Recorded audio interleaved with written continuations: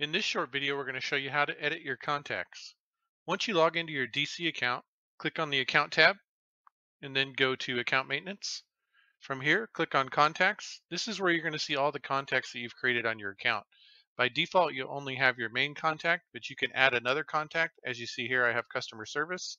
If you click Add New Contact, you can see the different contact types that you can create here.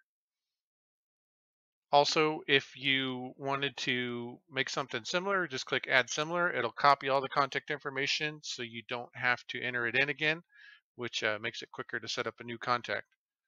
Stay tuned for more helpful videos.